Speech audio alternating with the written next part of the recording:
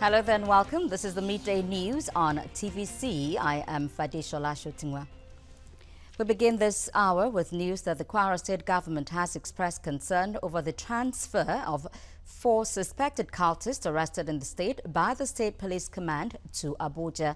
And this is just as some youths have accused the federal government of planning to implicate the Senate President, Bukola Saraki, with the transfer of the suspected cultists to Abuja. Correspondent Ibrahim Alege has details.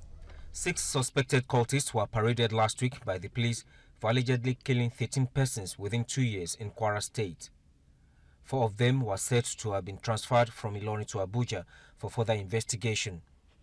At an emergency state security meeting presided over by the state governor, Abdul Fattah Ahmed, the council noted that the offense for which the suspects were arrested are state offenses which are triable under the state laws. The Director of Public Prosecution, Kwara State Ministry of Justice, Jima Momini, said the State Ministry of Justice had previously successfully prosecuted suspected cultists and killers at the State High Court under the Penal Code and wondered why this one is different.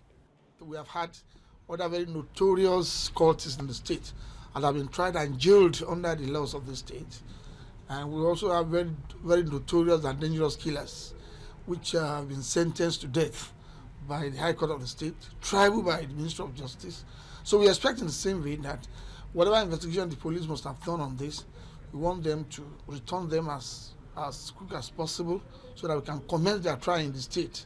The concern of, go- of state government is that these people should have been uh, tried in the state rather than being transferred to uh, uh, the federal level, and we are hoping that no political gain will be made out of this. In a related development, some youth under the aegis of Kwara Agenda described the transfer of the suspected cultists to Abuja as a deliberate ploy to rope in Senate President Bukola Saraki in court-related killings in the state. We have it on good authority that the main purpose of transferring the self-confessed cultists to Abuja is to implicate the Senate President in the whole saga. We frown at this, and as concerned youth of Kwara State, we want to appeal to the men of, of conscious of conscience across the world to prevail on the federal government to stop intimidating the, and humiliating our God-sent leader, the President of the Senate. Um, I want to thank you for a peaceful approach to what you have done. And what you have said has been fully captured and will be delivered to the appropriate quarters accordingly.